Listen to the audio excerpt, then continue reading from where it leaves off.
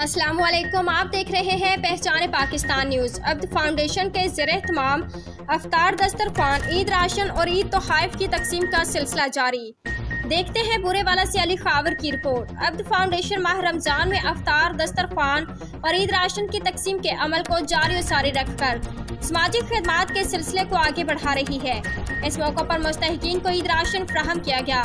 अब टीम के जवानों ने घर घर जाकर राशन फ्राहम किया। मुस्तकिन और अहल इलाका के अब फाउंडेशन के इस इकदाम की तारीफ़ की और खूब सराहा बढ़ती महँगाई और बेरोजगारी के पेश नज़र गरीब तबका बहुत मुश्किल हालात से गुजर रहा है।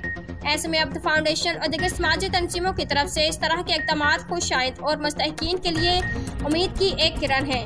अगर आप भी अब फाउंडेशन का हिस्सा बनना चाहते हैं, बतौर रजाकार काम करना चाहते हैं या फिर अतियात जमा करवाना चाहते हैं तो आप दिए गए नंबर पर मालूम हासिल कर सकते हैं।